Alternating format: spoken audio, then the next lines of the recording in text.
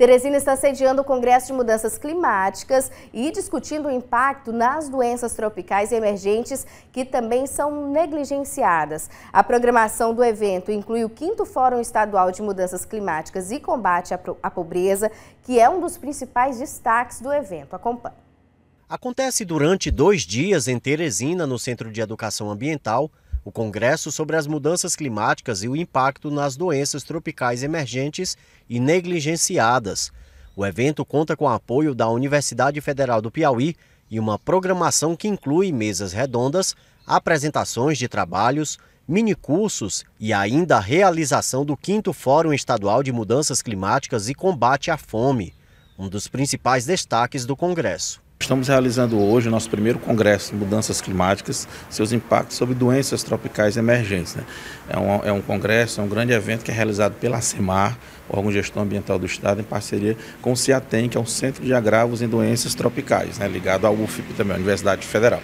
Então, um evento com diversas atividades, né, que envolve mesas redondas com especialistas na área de saúde pública, de meio ambiente, para a gente estar tá debatendo, propondo soluções, entender o que é que já tem em curso, para a gente reduzir esses impactos negativos das mudanças climáticas sobre a saúde pública, que afeta principalmente a população mais vulnerável. O Congresso reúne profissionais das áreas da saúde, ambiental e dos campos relacionados com o objetivo de promover o conhecimento e a conscientização sobre o tema. O evento busca discutir a relação entre mudanças climáticas e o surgimento de novas doenças, além de explorar estratégias de prevenção.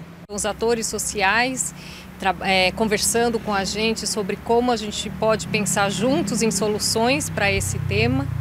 É, e hoje a gente tem o congresso mesmo acontecendo, uma com essa visão é realmente do artista e a gente tem uma exposição onde um fotógrafo foi no campo quando a gente faz a pesquisa para monitoramento de mordeduras, de transmissão de raiva por morcegos.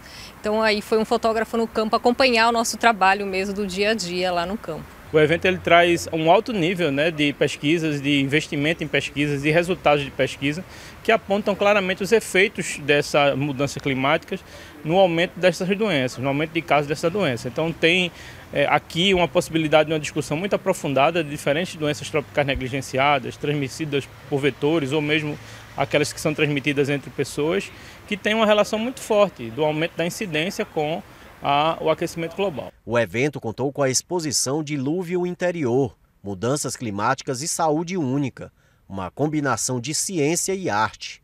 A exposição é do pesquisador da Universidade Federal do Piauí e artista visual Fábio Solon, que traz uma reflexão sobre as temáticas relacionadas às mudanças climáticas e a relação com a saúde única.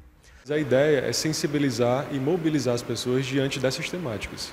Pouco a gente discute sobre o efeito das mudanças climáticas na saúde do homem, mas não é só a saúde do homem, a saúde do homem, saúde animal e a saúde ambiental de uma forma geral.